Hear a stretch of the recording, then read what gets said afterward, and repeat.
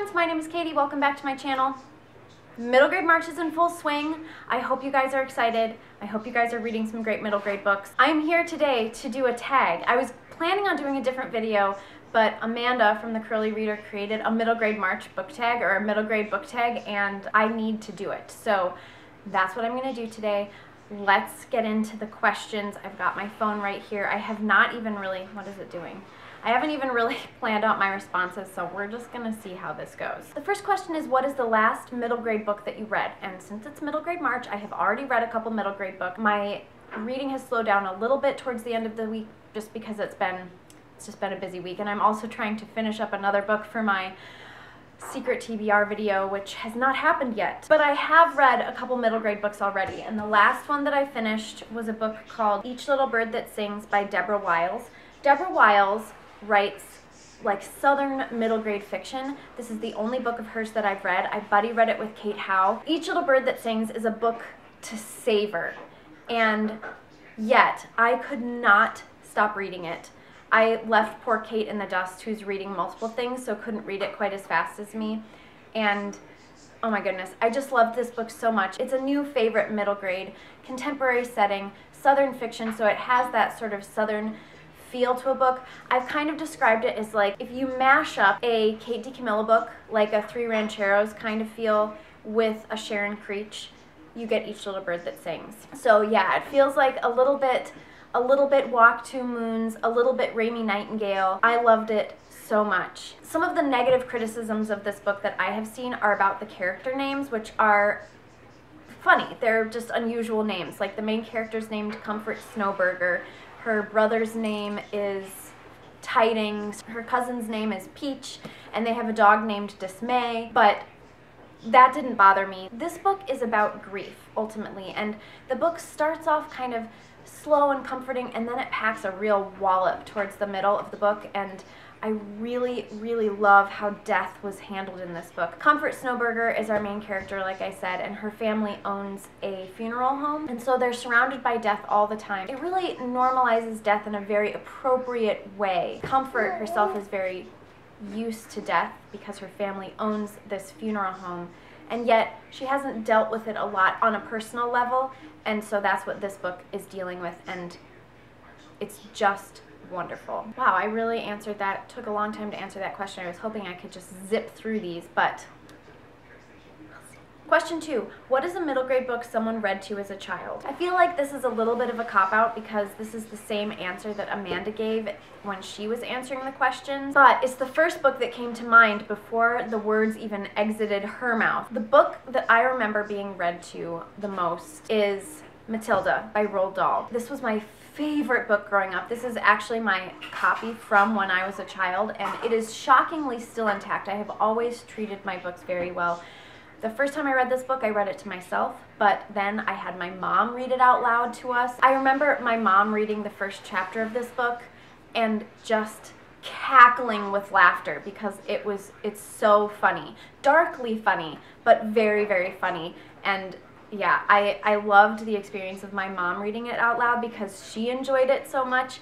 And then I loved it so much and just kept reading it over and over and over again and wanted to hear it out loud so often. So I begged my fifth grade teacher to read it out loud to the class. And so Mr. Berge read Matilda out loud to the classroom and he did all the voices and it was wonderful. Question number three is what was your favorite middle grade book as a child? Since I already talked about Matilda, I'm going to talk about another childhood favorite. And that is Walk Two Moons by Sharon Creech, which I actually already mentioned in this video. I read this book maybe when I was 12, whereas I read Matilda when I was more like eight or nine. And this book became my favorite at that time. I loved this book. I remember Salamanca in this book develops a crush on a boy and she might even share a first kiss with him. And I remember reading that and being old enough to understand sort of budding romance and just being wrapped up in that. I read this book again a couple years ago and that part is so, so minor in the book that I can't believe it stood so large in my head. Nevertheless,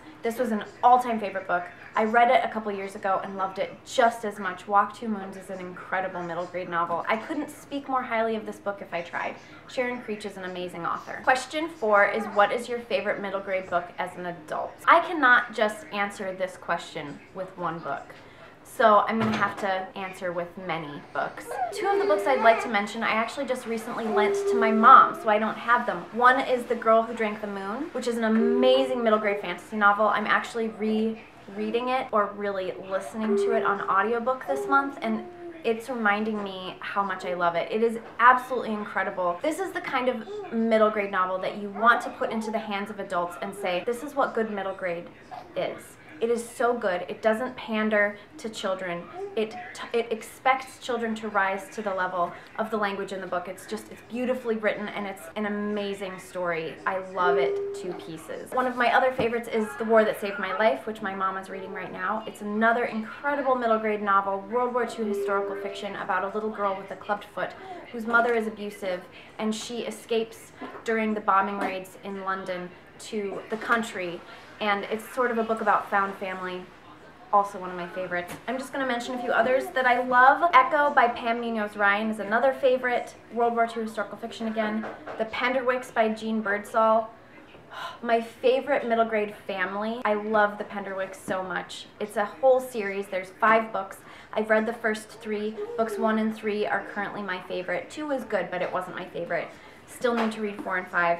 And then Sweep, The Story of a Girl and Her Monster is another middle grade favorite. All these books are so good. I can't just mention one. Question five is who is your favorite middle grade author? Uh, I could have mentioned these authors as writing my favorite books as well, so please take that into account. These are favorite authors who've written favorite middle grade books. The first is obviously if you know me at all, L.M. Montgomery, who wrote Anne of Green Gables. This is one of my many copies of Anne of Green Gables.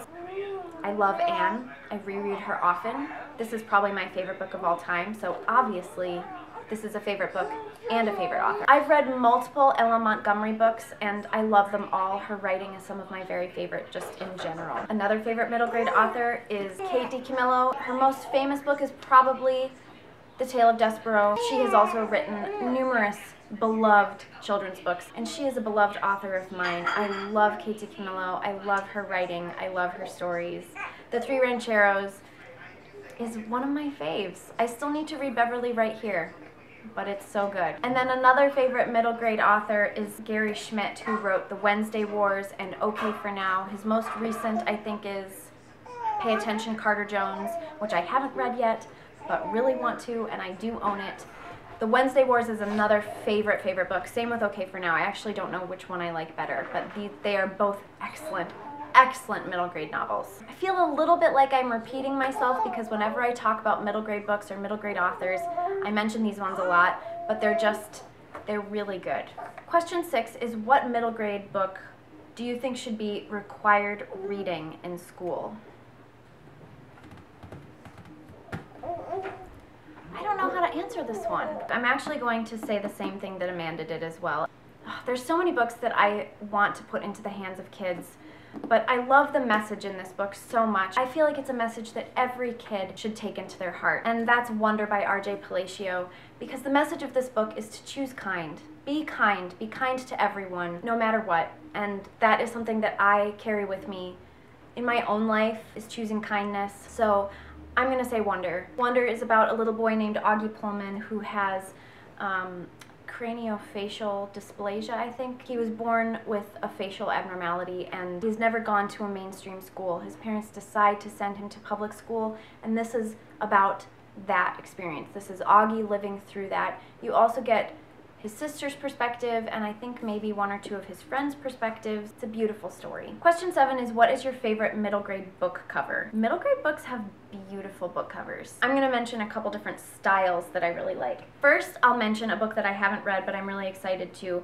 It's called A Pinch of Magic by Michelle Harrison, and I just love the cover of this book. This is a little bit of a cover buy, because I don't actually know much about the insides of the book, other than I know that Gavin from How to Train Your Gavin read and loved this book. He reads a lot of middle grade, I think especially middle grade fantasy, and this is one of his favorites from last year, and I saw him talking about it, and I loved the cover so much that I wanted it for myself. So definitely this. Song for a Whale is another middle grade book that I just think has an insanely gorgeous cover. This is by Lynne Kelly. This is another book that I haven't read, but I really, really want to. This has been on my shelf for over a year now. It's about a little girl who's deaf. She finds out about this whale who sings at a different frequency than other whales and kind of just roams the ocean looking for family, basically looking for connection with other whales and, and has trouble finding that. Sometimes pods of whales will let him swim with them